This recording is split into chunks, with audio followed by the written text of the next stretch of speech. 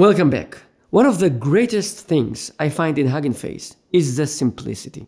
Just get me a full working pipeline, here's my input, get me the inference results. Or get me a model, get me a tokenizer, combine them into a pipeline, go. The usual problem with abstractions and simplicity is that you sometimes lose performance.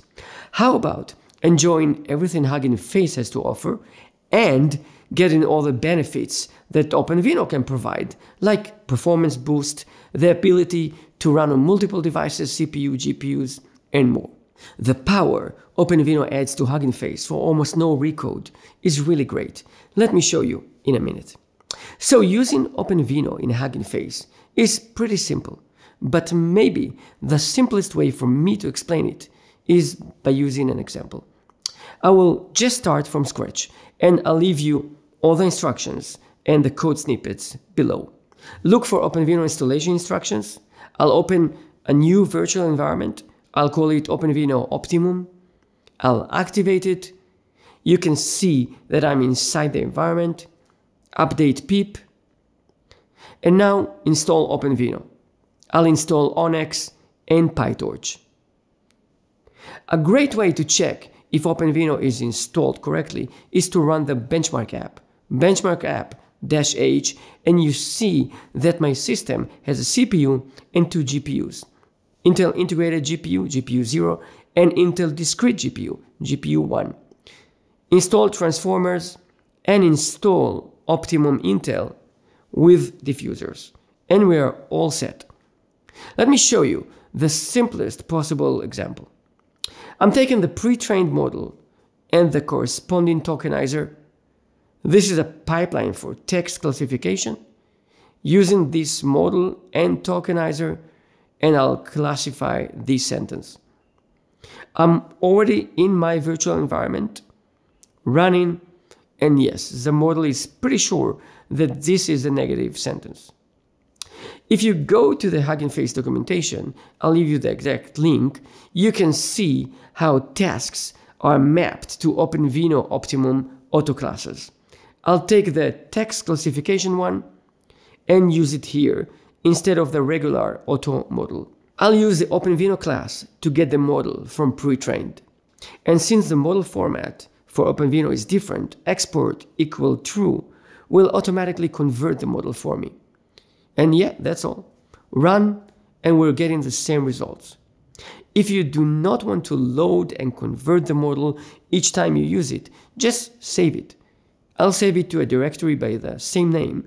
I'll just add that it's an OpenVINO format FP32. Next time you'd like to use this model, just load it from the same directory.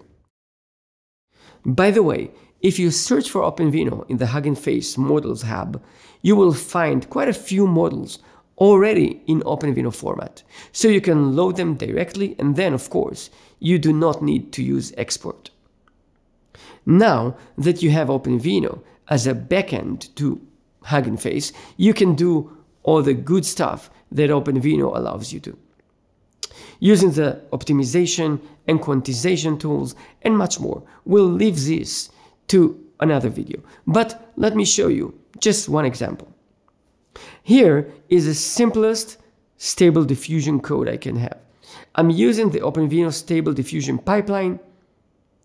I found a stable diffusion model. I load it from pre-train and export, converting to OpenVINO format. This is my prompt looking for a Rembrandt style ship in a storm run the pipeline, and save the results.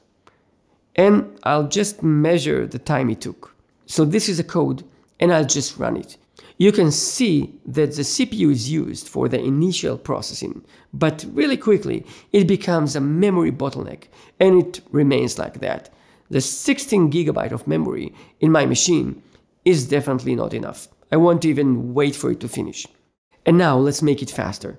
First, I found a model in the Hugging Face hub already in OpenVINO format. So bring it over, no need to convert, and do not compile yet.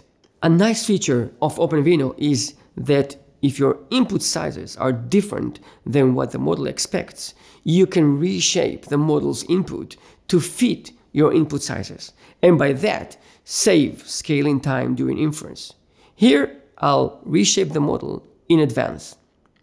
And I'll use FP16 instead of FP32. Just have the model weights. It's most useful if you want to save the model, as OpenVINO will have it anyway automatically. And I'll run it on my integrated GPU, GPU 0 in this case. And I'll keep the same prompt and performance counters.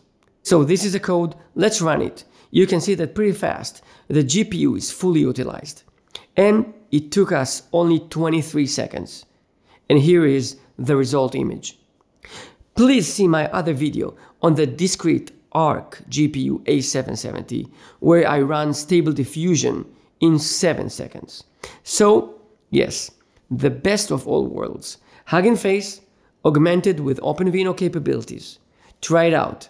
Subscribe. Enjoy. Thank you.